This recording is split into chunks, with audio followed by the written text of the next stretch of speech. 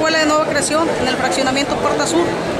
Este, ahorita los padres de familia tienen la inquietud porque este, argumentan que tanto mesa directiva como directora de ese plantel, ellos pusieron una cuota, sí, que son 40 pesos mensuales, es para lo del agua y el papel, sí, pero este, pues eso no es una cuota obligatoria una, aportación, pero este, ellos, como algunos padres de familia no van al corriente, ellos este, argumentaron que, les van a retener sus, documentos a los niños. Entonces sabemos que la educación es gratuita.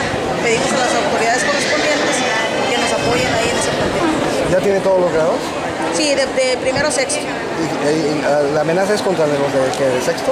no, con, todo, el, todo, el, plantel. Los niños que no hayan aportado su, aportación, que son 40 pesos mensuales para el gasto de agua y de papel, ese es para quienes no vayan al corriente, no se les van a entregar los papeles ni van a ser inscritos en el próximo ciclo escolar. ¿Cuántos niños son? Son alrededor de 220, 230 niños pero eh, en, su totalidad se han acercado alrededor de 20 padres de familia con una servidora para, para ver esa problemática.